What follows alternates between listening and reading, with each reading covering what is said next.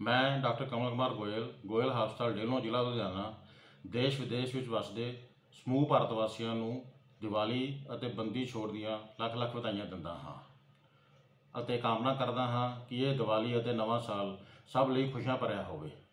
ਬੱਚਿਆਂ ਨੂੰ ਮੈਂ ਬੇਨਤੀ ਕਰਦਾ ਹਾਂ ਕਿ ਉਹ ਪਟਾਕੇ ਵੱਡਿਆਂ ਦੀ ਦੇਖ ਰੇਖ ਵਿੱਚ ਲਾਉਣ। ਇੱਕ ਵਾਰੀ ਫੇਰ ਦੀਵਾਲੀ ਅਤੇ ਨਵੇਂ ਸਾਲ ਦੀਆਂ ਸਭ ਨੂੰ ਲੱਖ ਲੱਖ ਵਧਾਈਆਂ। ਧੰਨਵਾਦ।